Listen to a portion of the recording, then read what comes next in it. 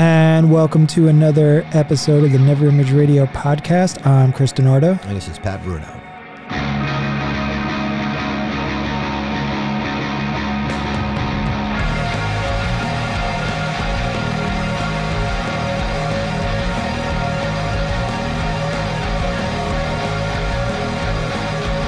All right, so um,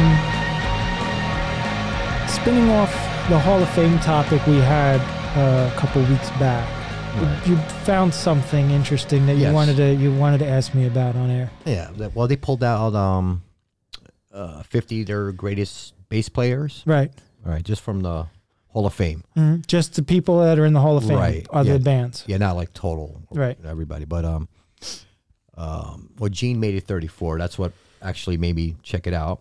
Interesting. Um, But I'm not here to debate who goes 30, who goes 20, who goes 10. It's just, Right. You know, as long as you get the top 10, top 15 right, I guess you could be good. But you know what surprised me at number 50 was Dee Dee Ramone. Why did that surprise you? Because he's just doing what the guitar's doing. Well, I listen. I don't think Dee Dee's should make any list. Not knocking the Ramones. Ramones are a great band, fun band. Whatever Right. you want to say about the Ramones, they're a cool band. I'm not knocking the Ramones, but I don't know. I just it was just.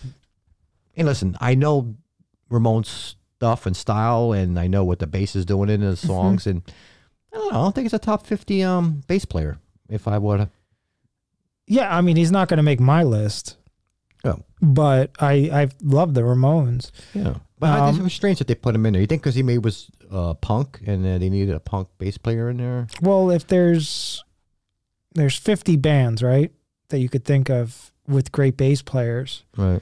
I mean, You think they might have ran out of people? I don't know. I I'm think, sure there's more than 50 bands in the Hall, in the Hall of Fame. I mean, Gene Simmons is 35 or 34, whatever Right. you said. I don't know. Yeah. I'm not. Well, I don't even know how they make the list anyway. Like, what's what's the data they use to put somebody 34? I would think if it's a Hall of Fame vote right. that um, they're going to poll everybody in the Hall of Fame Right. and tally up the votes that way. So you think Dee got a couple votes to get in? Yeah. Then yeah, that's but he shouldn't even have been really nominated. well, it's all bass players, or you could write them in. Right. I guess. I mean, I don't know. It's interesting though. I mean, I think that if you look at the top 10, I can't remember the top 10. Of course, Paul McCartney was number one. No Right. argument over that. No. But it's just whatever you want to put. You know, of course, you know, John Paul Jones is in there. You know, all the top bass Was players. Geezer. Butler in the top Yeah. 10? You know, Geezer's in it. I don't know if he broke the top 10, but he's up there, like maybe 11, 12. Or he might be in the top 10. I don't remember the whole list, but he's definitely up there. Was Geddy Lee in the top five? he was definitely in the top 10. I don't remember where he landed at. Okay. And the Flea's in there, of course. Um, what's his name from The Who? John Entwistle. Yeah. I think he might have made it number two or number three. John actually. Entwistle? Yeah. They, they, they, they put him up there. Well, deservingly, of course. But like I said, after like you get to 20 bass players and how you kind of make, you know, Yeah. You know, what's his name? Cliff Burton. Right. I think he just made it out of the top 10, so it's cool to see him in there, you know, because that style of Sure. bass playing, yeah. Well, he was phenomenal. Oh, without a doubt. I mean, it's He crazy was how that good he fast was. with his fingers. He was just, you know, and there was like no pocket for him. Like, like, like, uh, what's his name from um, Paul McCartney, you know, because how the songs were structured, he was allowed to play a lot of, you know, a lot of those walking bass lines and, you know, He also did a lot of the. He also did a lot of great bass work with Wings. oh, yeah. Like, Wings is another great band, dude. Great band. yeah, definitely.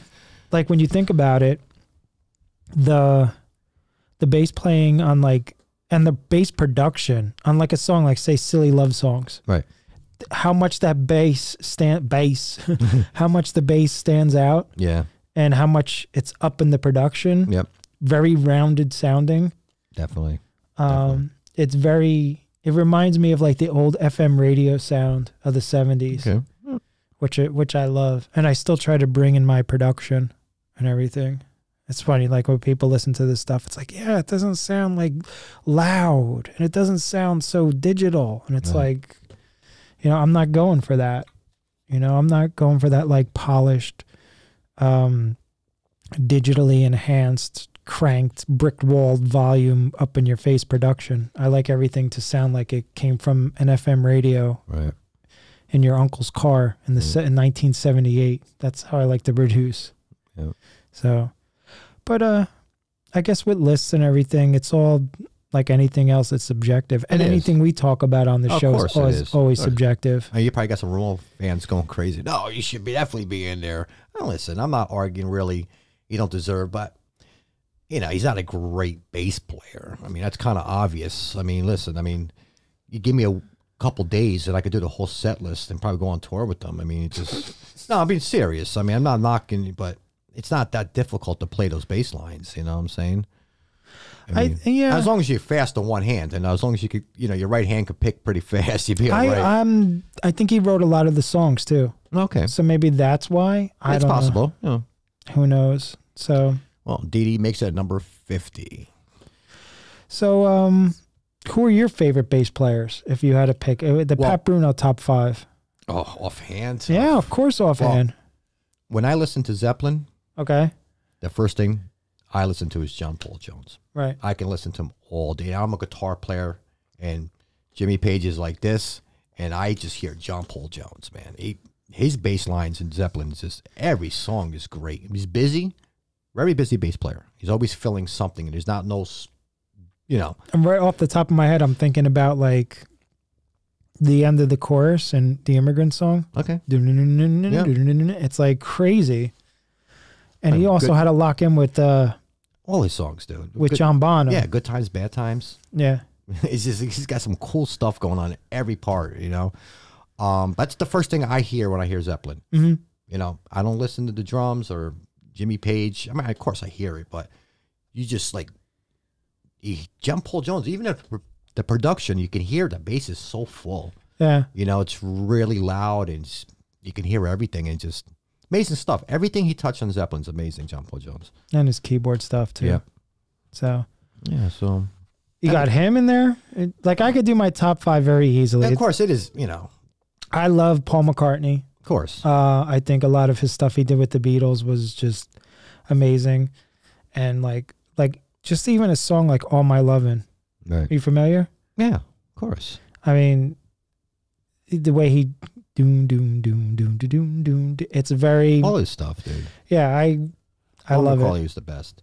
Geezer, I love. Sure. Of course, Geddy Lee Yep. is probably my favorite, and um, I don't know who else is there. I'm not really a bass player. No, me neither. But it's hard to think about. John Paul Jones definitely, and um, I guess I would have to go with uh, Les Claypool from Primus. I know you're not too much of a Primus guy, no, but, but, his bass playing. If you just go by his bass playing, is phenomenal.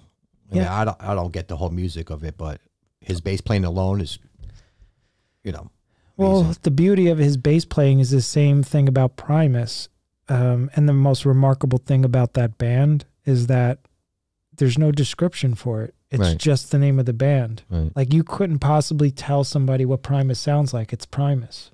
Well, I told a bass player a while ago who didn't know Primus. That's Okay, weird. I know. And um, he's a good bass player. He knows a lot of stuff, classic stuff. He's more of the classic stuff, but he's a very good, talented bass player. Uh-huh. And um, he was like, didn't he, he loved it, but he Mhm. was like, dude, you, you to know like you can play bass like that. You know what I'm saying? Like the way his style was. He's like, dude, because I'm watching him on you know videos. Like, dude, it's like because I don't even want to attempt to play it Right. because he's got to learn a new style of playing. You know what I'm saying? So he really dug it. As a bass player, you got to get into that stuff because you find something new. You know what I'm saying? That's there's always something he's doing in there. It's like probably new. You know, so total respect, total respect for him. He's great bass player. The band, I never connected with it. You know, really never. Well, connected. Primus is, you know, I was about to bring up Misa from Band-Maid, but as far as like a new bass player, um, but the thing with Primus is that they created something that doesn't exist as far as like a music sound Oh, or no, I hear it. band and Sure. So there's elements of jazz, there's Right. elements of metal, there's elements of like ska, Yep. there's elements of just Well, even the guitar work, he's kind of sounds like he's playing like out of key sometimes. Like he's like making, you know, he's Yeah. making up notes as he, as Yeah. the song is going. So Yeah. it's kind of has that weird sound going because he might be playing something, you know, most a of the, mo- most of uh his solos he just jump in B and just go crazy That's it. and just it's just like weird. One thing I always noticed, a perfect cover for Primus and it was like the first Primus song I heard before Primus even existed, but it's the same style. And it's um Torpedo Girl by Kiss with Ace Frehley song. You're that right. could be a Primus song. What I doubt. Is it got that drum beat going on and with the guitar work? Yes. It's I can hear it. And hear right. Ace's Good call. guitar. Yeah, good call. It's like it's a Primus song. Yep.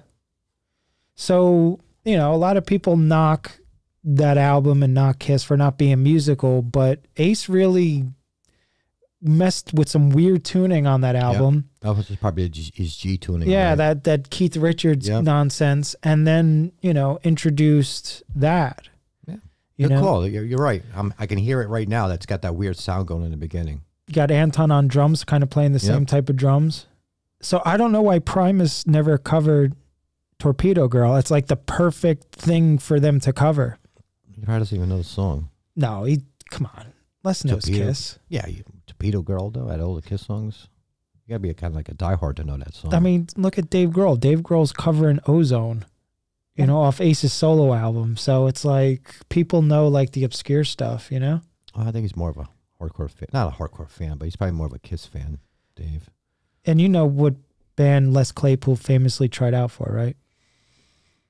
And didn't get the gig. Should I know this? It's rock history, man. Take a guess. I you know what I don't know. And it was before Primus broke. And they lost their bass player in a tragic bus accident. oh, Metallica. Yeah. Okay, I remember that when they were, they were auditioning bass players. Yeah. He, uh, he came in. I think there's a video of it, right?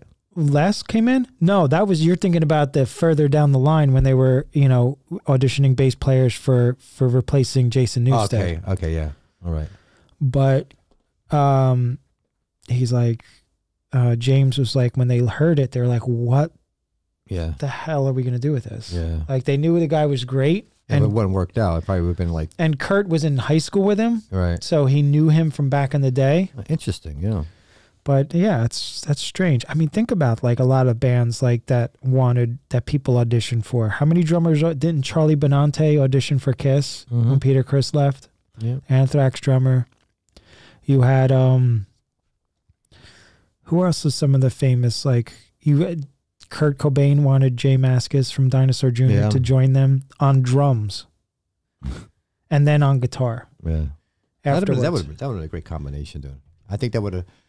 I mean, of course, you know, Nirvana's You would have had legendary, but with Jay on the guitar, So if Jay been took Pat. Smear's spot, right, on Yeah. guitar, It'd been crazy. yeah, and then you would have had James, oh, James, you would have had Dave Grohl, you would have had Jay Mascis, and Kurt Cobain. That would have been nuts. Who the, could you imagine the songs that would have came from that band? I know. Yeah, that's like That would have been interesting. interesting, yeah. more than interesting to say the least. So, but that's cool with that. All right, what I want to bring up now is totally change the subject into another area. Is um, uh, as you know, I'm a big horror movie fan. Um, going back though, I'm not really a fan of like new horror. Have you seen a new horror movie that you liked in the past 20 years as much as you like the old ones? I think. um I guess I don't know if Saw is considered a horror flick, but Of course it is. okay. Well, Saw. Did you like it? Yes, uh, the first one was great. Yeah. I mean, it was one of the best movies I've seen in horror. You know, really? Yeah, I loved it. I I didn't didn't- think first Saw really. Yeah. I- Wow. Didn't You don't think do- it was really? I'm not saying it was an awful movie, but it didn't move me well, like well, in 20 years, well, that's what I came up with. So, I mean, that's, I think that was done well. It was written well. It was different in a Mhm. way. And I think the ending was, I don't know if you remember the ending. no, no clue. Well, I mean, don't tell me because I'll, I'll go back and watch it and be surprised. all right. So, Well, then I could probably give it away to you. Now you're going to be paying attention to it. well, I think I would have I would have guessed because I'm pretty good at guessing shit like Yeah. that. Well, I thought the ending was one of the best endings of uh, a horror flick. Wait a minute. Is it that movie where he's he's one of the people getting chased the whole movie No. and he turns out to be him? No, it was, it was two guys in the, I think it was two guys. It been a while since I watched it in the bathroom. um, like chained up and stuff. He was always. There was a guy dead there. He was always in that bathroom. So that's what I remembered. I thought that he was in the. You have to watch it. I got to watch it again too. It's been a while, but I thought Saw was one of those movies that, you know, was good in the last whatever years. I don't even know when that came out. It's been a while, right? Since Yeah. that one came out. So I got to watch it again. But I, I remember that the ending was really um, interesting. I know the guy was in the bathroom that was the, the killer, Right. and he was there like all the time. What are your. What are your other favorite horror movies of all time? You know, I got a couple of ones, but you got a good horror collection, dude. I mean, you got some you got some weird ones in there too that I like actually, but you got a good collection. Yeah, I do. Yeah, It's uh, you got everything. You got stuff for people that haven't even heard of or even known it exists. that's true. Yeah, but um,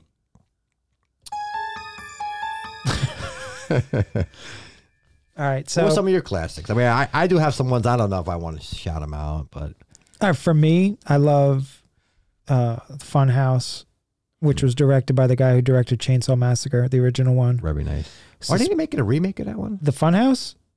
or not? I They better not. They remake all my shit. They I know. Suspiria. Did you see that? No, The remake of Suspiria. you? Yeah, Well, I know you're a big fan of that. What you think of the? I liked it better than I thought I would. really? Yeah. Okay, so they did a good job. The reason why I liked it is because they went totally off.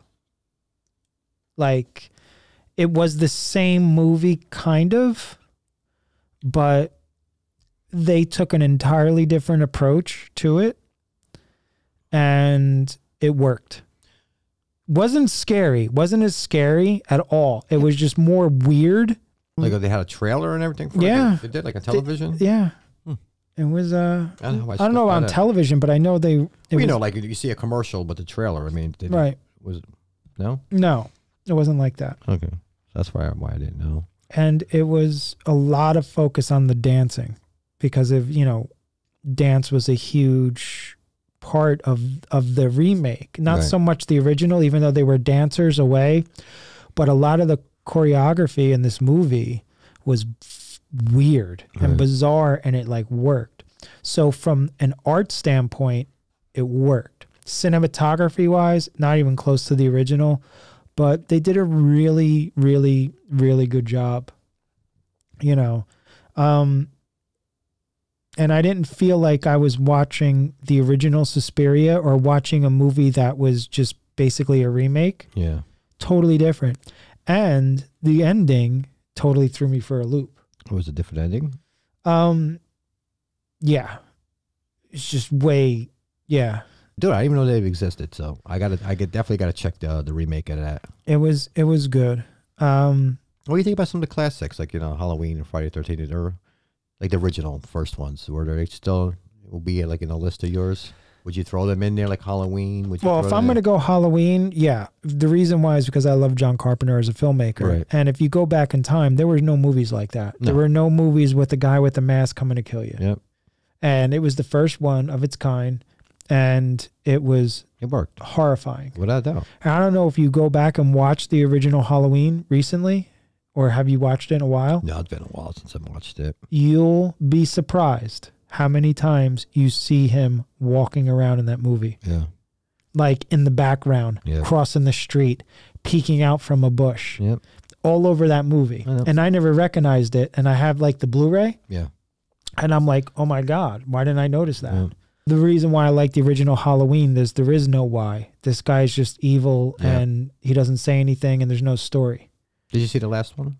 Yeah, Okay, I liked it. Uh, wasn't wasn't like superb, No, but it was it fit. Yeah. for what it is. You you know you watch it for you know what you're getting. You know what I'm saying? I could have been a lot worse, oh yeah, you oh know. yeah. And it was it was good. I heard he's coming back again. Yeah. You heard too? As far as Friday the 13th, you mentioned that. I think that Friday the 13th Part 2 is Mhm. one of the best horror movies ever made. Really? Yeah. If you watch that start to finish, I got to go back and watch it because I can't remember part one from part two. Part 2 is great. I just can't remember which was which. Yeah, the suspense and he was just running around with that sack on his Right. head. I think he gets the hockey mask in Part 3. Are you sure? Yeah, I think so. They waited to the third one from th- th- th- they get that mask on. Yeah, I think Hmm. so because the Part 2 was still in the cabin in Crystal Lake. Right. Crystal Lake. And uh, there was a whole cliffhanger and a guy disappears. Remember, she's getting loaded in the ambulance. Where's Paul? Yeah. Where's Paul? It's like, and that's how it ends. Right. So, So yeah, so the hockey mask came later on. Yeah. and the third one was in 3D. Yeah. Oh, it was bad though. The 3D back then it wasn't, you know, what it is today. You know, I pretty much watch every movie in 3D, especially if I go to like Star Wars or any kind of Right. The Avengers. Avengers. I watch those all in 3D, so you know. I mean, it. with with horror the whole horror genre now um i mean i'm writing a couple of horror scripts so i don't want to like give too much away in in what i want to see in a horror film because i think it's certainly not present now but too many people are focused on um the fear of the people inside the film and not trying to hook line and sinker the audience right. you got to scare the shit out of the audience. You can't just have your audience watch another person be afraid. You have to take the audience and bring them into the film. And I think that was brilliant about Halloween. Oh yeah. I was about a lot of the the devil flicks like The Omen and like Rosemary's Yeah. Baby and things of that nature. Well, today, That's why they're so scary. if you go on Netflix and you watch like a newer horror flick, I, I just don't like any of them. You know, it's just not. I don't feel it. You know, they, yeah, there could be some written well, but it's just not. You know, you know, you try like you, you see a title and you just like, oh, it looks scary. You know, you try and it's just not not good. To me, I, I love cheesy horror flicks. You know, I, I I don't mind watching a cheesy horror flick. You know, I enjoy it. Yeah, they're mindless, stupid, Yeah, and I mean, just I- I can wacky enjoy- and fun. Exactly. I could take a serious one, enjoy it, and a cheesy one, but That's why you love the car oh, of course, awesome, dude. movie about a car possessed, just going around killing people. That was a good movie, dude. With And I- James and I Brolin. watched I watched all these when I was a kid. And that one scared me too. It was a car. Actually, you got scared of a car. It was possessed. I guess it was a, the devil in it or something. Yeah. It was just that was I can't remember that. That was good. The car, man. Jeez. That's a great film. Uh, well, with a lot of like you're saying with the next Netflix movies and everything, is that people are just following these stupid formulas for horror movies. But when the horror movie genre got good, it's when they stopped following the formulas of the 50s and 60s with the monster guy Yep. coming at you and stuff like that. It was just Yep. weirdness, and there's no weirdness in these films now. Yeah. There's too many people jumping out. There's too much gore. Yeah. There's too much torture stuff. It's just it's just not good. You Yeah. know, the situation has to be scary that the characters are in. You can't just do like music and like big loud bangs in the editing room Yep. to make you scared and stuff. It's just it's all cliche. There's everything now is a giant cliche Yeah. and that's why I don't enjoy I, I can't recall watching a newer horror flick in a while, really. I, I try some on Netflix here and there. I, I don't even get to watch the whole thing. I kind of get like bored of it. Just kind of. It sucks. It's like wrestling. Yeah. You want to watch it, you want to like it, you want to get into what's new, and you can't. I tried so hard with wrestling can't. to get into it. So I'll go on YouTube and just watch, you know, old school matches from Yeah. NASCAR, and I enjoy that much better, Hell yeah. you know, than watching today's stuff. You know, I could watch a Jimmy Snuka match or something, or you know, an old school Bob Backlund or something. But um, yeah, today I just have no. I don't get it. it. It's like when I watch wrestling now, it's like watching something I don't even recognize. Yeah, I'm watching two guys that spend way too much time in the gym argue with each other down an aisle. yeah. And Well, the only thing I give the new credit for the new wrestling is just, um, you know, how they put the bodies on the line today. You know, the, back in the day, they didn't, you know, they didn't do these crazy like suplexes off of a fucking building or something. But you know what I'm saying? but there's no ring psychology. No, there isn't. That, that, that you know, it, they're just setting up for these bombastic moves so people can go, oh, Right, it is. wow. Well, listen, when was the last time you seen a sunset flip in today's wrestling? That, that stuff doesn't even exist anymore. A drop kick, drop Yeah. kick, like you know, nobody does drop kicks. How does, I don't watch it, so No, I I'm wouldn't just saying. know. I didn't know neither, but I don't think they do drop kicks like they were back in the day. Arm drags. Remember the arm drags the routine used to do? Yeah. Back and forth to the arm drags. They don't do that shit no more. Today's like, you know, jumping off the top rope into the audience and, you know, doing a brain buster on the concrete or some shit. But it's, you got to give them credit though. Today, they, you know, But they don't have to work as much. The guys back in the day used to do seven days a week, Yeah. you know? Yeah. And if they had to sit out a card, they had to mm. sit out a card like one night, Yeah. you know? So I, I don't give them that much credit. Their their mic skills aren't as good. No. But that's what all it is today, though. It's all like everybody's on a mic. but it's horrible. It's It not even good. No.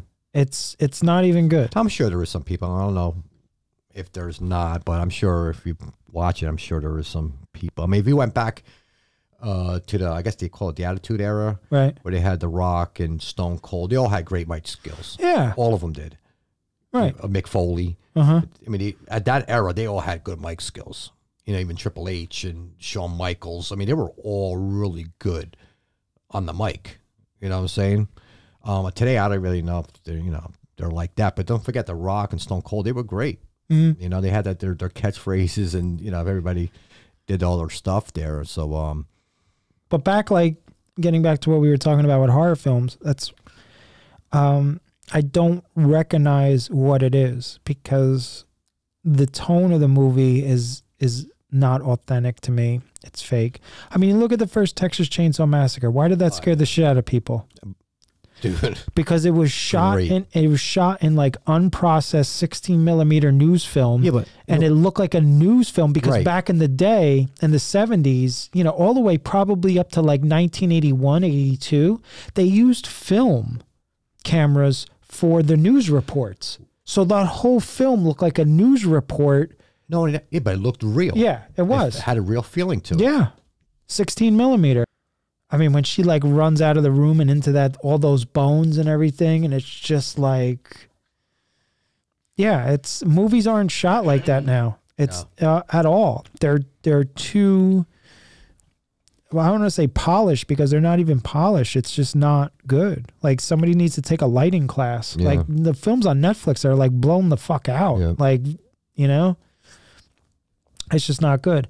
So, you know, my horror films are from the ones that are, you know, basically, you know, late 60s through the 70s. Like, I think like 68 to like 83 was like my window of horror films. Right. And after that, Mhm.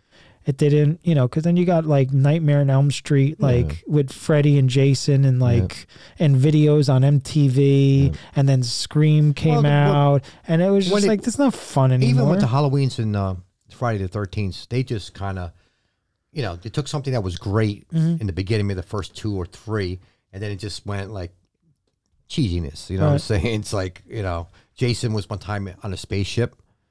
Do you ever see that one? I forget what it's Mm, called. no. no, they, he was in space. He was like in a spaceship. I don't remember which one that was. I'm not lying. Like he he was frozen or something, and it, he was he started killing people on a spaceship.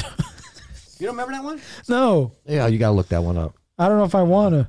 Well, it's that's how bad it got. You know what I'm saying? I remember the one he's in Manhattan. yeah, of course. But no, I'm not lying, dude. I, I hope I saw this, but yeah, he was in a spaceship killing people, man. He was like frozen or something. Weird.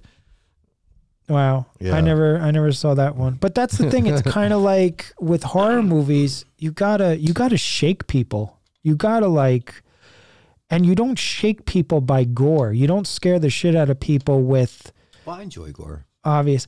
I listen. It's an art form when it's done right, but Yeah. it can't overtake the story. Like Right. there's too many films like back in the day where it's just over the top goriness. Yep. and it pulls you out of the movie where you're like, oh, I'm watching special effects. No one's actually thinking, oh my God, that's actually happening. You're like, oh wow, look at those special effects. Right. They're good. So anytime you get yanked out of a movie like that, you know, I prefer I prefer the other thing. Like the best example of not using gore as in Reservoir Dogs. You remember that movie, right? Right. Now they had two choices to go. When he's when he's going to cut the cop's ear off, Mm-hmm. they had two scenes that they were going to do where they showed it where he's slicing the ear off and if you remember the scene in the movie they just pan the camera over and you hear the cop scream Okay. They left-. Yeah. exactly that's my point it's like you know sometimes being you know observing a situation is scarier than watching blood fly all over the place Well, I'd take example Jaws, the first Jaws. okay He never really saw Jaws right in the beginning. Remember? Right. It was always din din Yeah. and, and the person would just get pulled under, and that made the movie better than just seeing the whole shark eat the person up every time. Yeah. You know, this way you, you didn't know or you didn't really see it; you just heard it coming up. You know, Especially in the beginning. Like, it was that in the beginning of Jaws 2 where the two people are out like swimming at night Right. and the, the girl gets like, take, Sure. yeah, that's the first one? I don't remember which one is which. That might be the first one. Yeah. Yeah, they, yeah I think she went swimming um, by herself, or her boyfriend was there. or Something. That's Um, a great can't remember. script. Some uh, some of the other films. Well, that, the reason why didn't you see Jaws? It was really a story behind that that they couldn't get the uh, the um, mechanical shark to work right. majority of the time, so they kind of just like only used it towards the end. You know what I'm saying? Like the beginning, they couldn't get the damn thing to work. So, it, but it was brilliant that it actually worked better for them because you know you didn't see the shark. You know, what I'm saying you knew it was coming. You know, and it, the, the the sound effects, you know, then then then then it was perfect for it.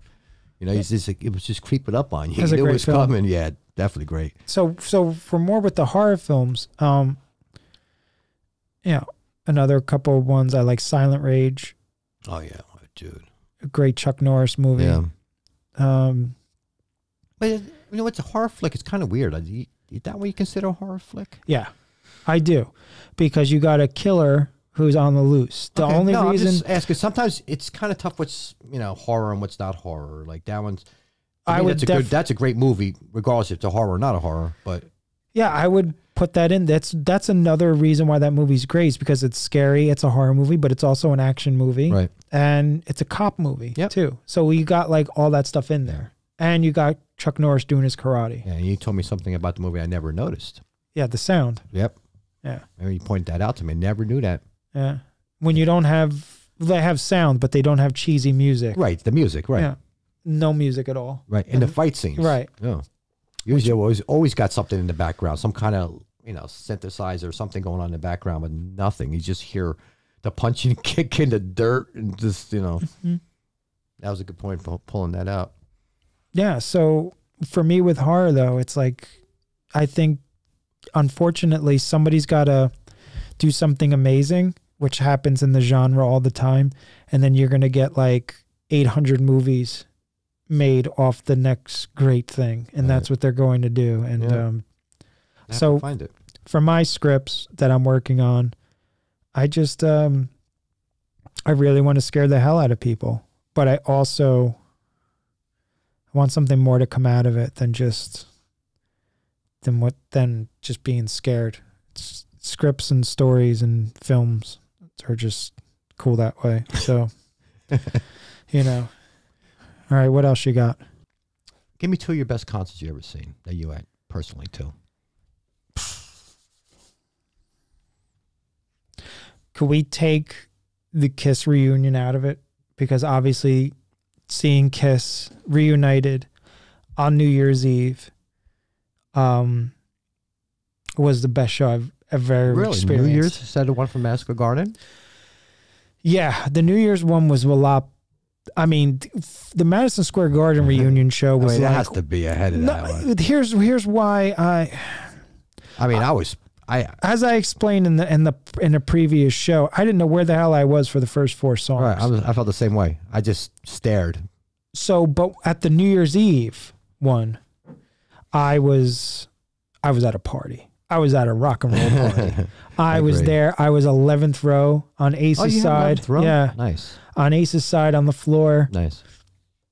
That was I had I had the that was the most fun I've ever had at a show in my life. Wow. Not even close. all right. So we're gonna take that one out because there's really no comparison to that. So I'll throw one up there. Seeing seeing Quicksand reunite. really Yeah, when they got back together their first show in New York City. okay. Um that was it was more than I was prepared for. I got emotional. I get emotional. Sometimes I cry at shows people don't even notice. Yeah, it's not that cry when you're sad, but it's no, it's, it's, a good cry. it's the way my brain is wired. Right. When I get overwhelmed with too much happy emotions, Yeah, like. I start to cry. That's all right. And that's just how my brain is wired. Right. And I got no problem with that. I just, you know, I'm not like sitting there like weeping like, you know, my dog died. It's not like Uh. that. It's more it's more of that that good happy cry type Right. feeling and I got those feels. I got that emotion and when I saw Quicksand reunite, what a great show. Nice. What's one of yours? Cuz I got a bunch, Well, man. Uh, besides Kiss, Mascot Garden opening night, I mean, that's will always be special. I mean, I thought I would never, you know, see that. Right. but I got a chance. Nobody to see that. did. No. So that, believe it or not, will be uh, the Heaven and Hell lineup with um, Oh. Dio and Sabbath. Right. I didn't think I would ever see that lineup, and I got to see that lineup twice. But the first time I got to see them, um, it was great. I really, I Was I- that at Radio City? no, I wish I went to that. Do please. I mean, I was Where did you see them? um, Garden State Arts Center. Okay. Yeah, no, that's on DVD. That one from um, Radio City. Great show. I mean, I wish I I would love to be. Anyway, I got to see them, and you know, it just was just something special. Seeing you know, because you know my favorite albums, Heaven and Hell, our first two albums, that one and um, Mob Rules, but and it only played Dio era songs. I mean, Right. There was no you know Ozzy songs, so that's why they Right. called it Heaven and Hell. So there was no Ozzy song. So I enjoyed it. One of the greatest things, dude. I mean, for me, because that's my favorite lineup, and um, I didn't a chance of ever get to see Dio with Sabbath. So why didn't you see the Radio City one? It just didn't. I didn't know it was kind of happening or where it was at. It was supposed to be a one-off show, really. Um, it just, I just didn't go. You know what I'm saying? And you didn't think he was going to pass away. No. I mean, that's the thing with shows, and that's what everybody's got to understand. You got a chance to go to a show, Right, do it. go. Yep. Don't ever put that off Yep. because I made that mistake with Nirvana, and I, I, I'm enough Mhm. said. You get a chance to see them. I know. You know, Well, I got to see that lineup twice. So, and believe it, the first one was with uh, Megadeth. So Oh, that's a good that was cool. And the second time was with um, Motorhead okay, and Judas Priest. right. So that's like, Judas Priest and Rob Halford. yeah. Okay, So that's like you know metal. You know what I'm saying? That was Right. cool shows, but um, that you know did you ever see Motorhead in a club? no. Oh my God, that's another experience. You have no. You thought you heard loud yeah. volume at a club. I saw them um, in South Jersey. Um, they sounded it, did, it was incredibly loud and incredibly clear. Usually, you see a band and they're loud, and you're like, "Oh, get me out of here!" And then you get to the car, and your like ears are ringing. Right. Motorhead was so loud and so clear.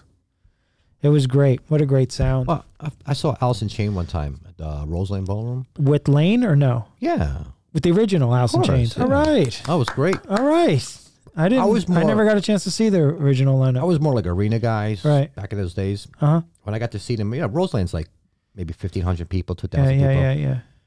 dude, it was so loud, and you felt like the bass coming through Yeah. your body. It was a different experience to see, you know, that kind of power coming out of, um, you know, it was so loud. I could probably understand what you're saying about Motorhead. Yeah. I mean, I felt it that night. I never felt that at an arena show.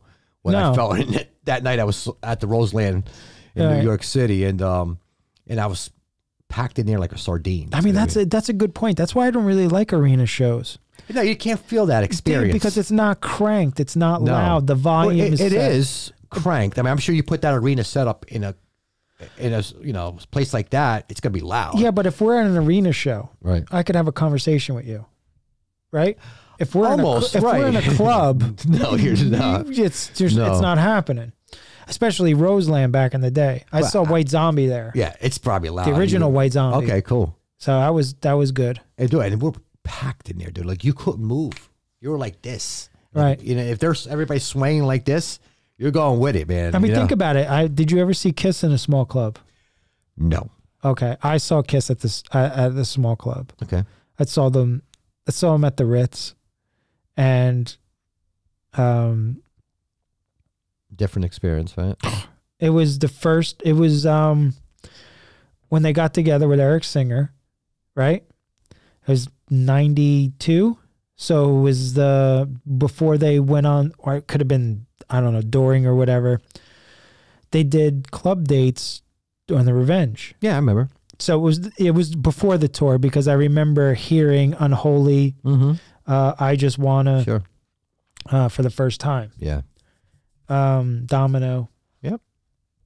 And I remember liv- leaving there going, "This is the greatest Kiss album ever."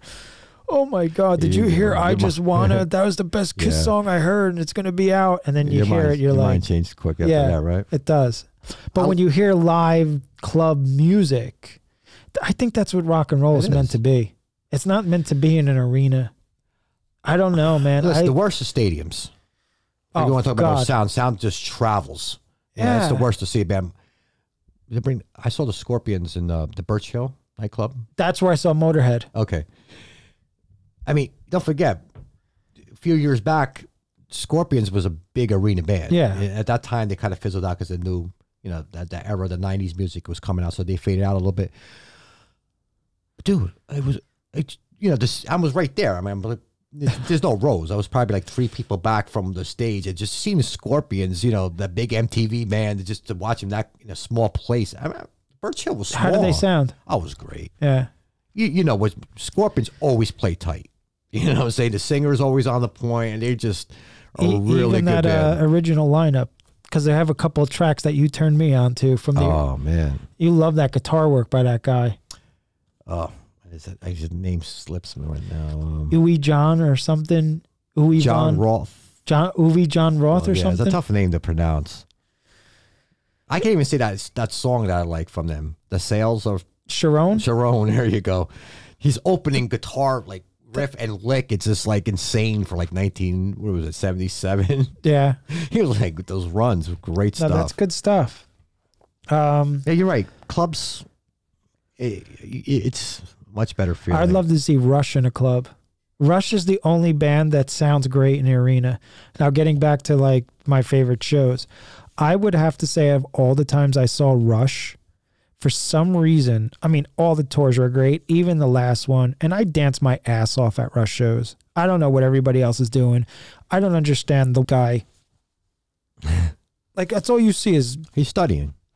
He's probably a drummer and he's studying Neil Peart. I'm not that guy at any show. And we're on stage and you look at people and you see guys that look at you like this. It's like they're looking at a bizarre circus animal for the first time. People don't know how to dance. I dance at shows. I'll Right. dance at Rush. I can't stand still. Like, you know, so that last Rush show was great, but my favorite Rush show, my favorite Rush tour was the Roll the Bones tour Right. for some reason it just i saw it at madison square garden that's the one that stands out for me with rush and um, i've seen them a lot of times thankfully because you know they're never going to play again and that was that was a show worth seeing um seeing dinosaur jr in in california Right. here's a question for you and i who is the best performer singer front person you've ever seen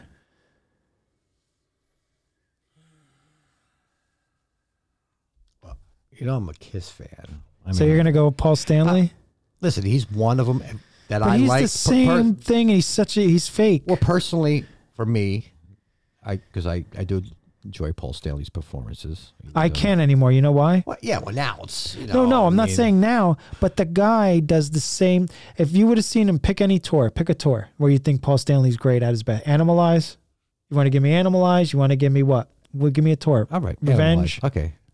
whatever tour it is Yeah. you see him that night Yeah. The next night It's the same routine. next night I know. next night I know. you could set your watch to it All right. So besides him, I'm gonna have to say, just singer. Like, what do you mean? Anything. What mean? I got mine, and it's not even What, what- close. what was the question again? Best front person, singer, whatever. Just front person. Yeah. Ah, that's tough right off for me to think of that. I'm hearing some weird shit in my headphones. I just sounded like the Predator was like over Yeah, my right he's shoulder. behind you. Yeah, like that's what he sounded like in my ear. I'm like, oh, my, I got, what the I hell's really, going on? That's something I really got to think about. I mean, I know I threw Paul out there. I thought you meant just front man. Right, You know, from person could be a woman too. but that's what you meant. A front. Yeah. Okay. Singer. may- besides that, maybe David Lee Roth. Okay. I thought he was brilliant back in the day. You saw him on the Eat 'Em and Smile tour. Yes, I did. Good job. Yeah, with uh, Steve Vai and uh, Sheehan. Steve I too much live? Does he go too crazy You or know does what? It's it, man, that was a long time ago. Uh. Uh, I remember the show, but I can't. You know, I think I remember the performance too well. But I think Poison opened up that night. I seen Poison and I seen Tesla open up for Poison. Nice. Um, wasn't bad. It was a fun night. Tesla was great. Why not? It's music, man. Fun Who- night, who rock and cares? roll. See, that- that's all it is, man. As long as you got guitars and you know banging drums, it's you're gonna have a good time, dude. Best performer front person I've ever saw live, and it's not even close. Is Adam Ant, and nobody comes close. He's he's got the vocal thing down. He's got like the dance and rhythm thing down. He's got the the stage actor type thing. He uses the stage like like an actor would. You know? He doesn't necessarily use it as like a rock guy, Yeah. even though he comes in and out of like the punk, he comes in and out of like the rock singer Yeah. thing, but he also uses the stage in a way that a lot of Shakespeare actors use it in a way, but not over the top where you notice it. It's just perfect. He makes eye contact with you Right. and he'll stay. They, he'll keep that eye contact right on you. Yeah. I'm not too familiar with him, but I know some stuff from you know his moves and. I saw him at the Fillmore in San Francisco Well, I didn't know he was. back oh, in the day. I didn't know he was like a total punk guy. Because when I knew him first, of course, was more like the, don't drink, don't smoke right. cra- so crap. I didn't know. You Yeah. know, just, I, but um, of course, I know you, so I know now the earlier stuff with uh, what they were called um, the ants. the ants. Okay, And then they went to Adam and the ants. right. So you know, you learn stuff over the years. You know, Ah, and I, I love that. So I seen him recently in New York, and um, he's terrific. Um, getting back to shows though, um, I think that's uh, I think that's it. I think I mean obviously every time I see Dinosaur Jr., it's great and it's different. Um, I seen Tool at Madison Square Garden nice. that was different. I remember leaving that show thinking, "What the f- what the hell did I just watch?" Yeah, amazing band too. You know, sometimes you know a Tool song goes on for like ten minutes type of thing. You know, and they, they have it's the same thing. You had it seemed like they had five songs. Yeah, in in one, one. in one song. The riffs just kept changing, and it went to something else. It's cool. There's nothing wrong with it. It's it, it No, works that's well for them. style. Yeah, it is. It works it's, well. It's like it's like prog rock without the prog. right. You know, it's Yeah. just got the things. And I they write well.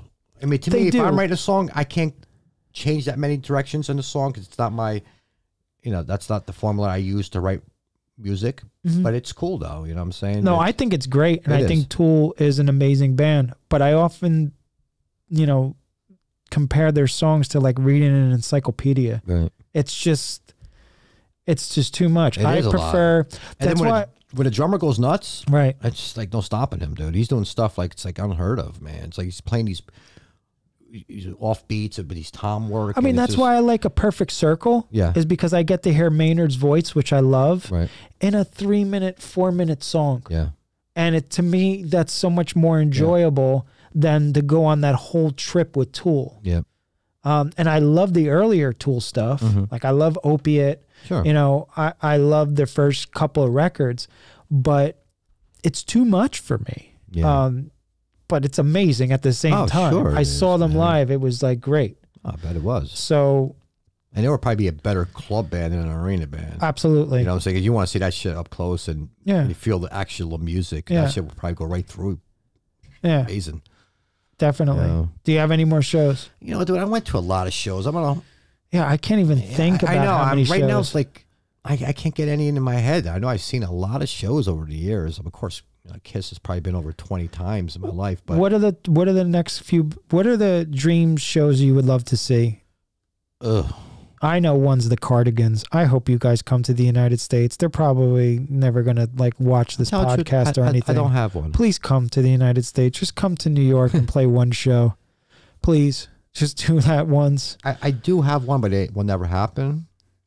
because Dio died. Oh, you can't. I'm not saying if, but Well, if, I'm just saying when if people are alive. there is probably one because I would have liked to see him with Blackmore one last time. Okay, so based on bands that are alive or could get back together today, Mm. mine would definitely be the Cardigans. Nothing. I, I don't You got nothing. No, because majority of bands are still around. I mean, what are we gonna say? I mean, Well, that's what I mean. Even if they're still around, who do you want to see? Not not some magical thing you want to get together. What are what are some bands that are on your list? there isn't any really. Maybe um if they got back to back, uh, Black Country Communion Okay. with um Glenn Hughes and um Uh, Glenn Hughes better do it soon. I don't know how that guy does it. I know, but the, the I He's mean the first be album is 80. great. That, You're talking about these singers and people in their 70s. know, he's, he's- going to be in his 80s. dude, that first album, Black Country Communion, that's a good album. The rest of it kind of tail off a little bit, but I like to see them. They came to the what you call too, and I missed them uh, a while ago. Came Starland, to what? Oh, Starland Ballroom. uh huh. I didn't go. I was like, fuck, Yeah, but again, always go to the show when you get a chance to go. amazing. Always. Um, we're gonna get you to see Dinosaur Jr. because I think you would love that. Oh, definitely enjoy. You know that. All right, so let's wrap this one up. Good. Um, that's about it. So the message for this show: if you have a chance to go to a concert, go because you never know what the hell's gonna happen. Yeah. Always go. All right, that's it. Thank you for tuning in to another episode of the NeverImage Radio podcast. I'm Chris doing. Okay.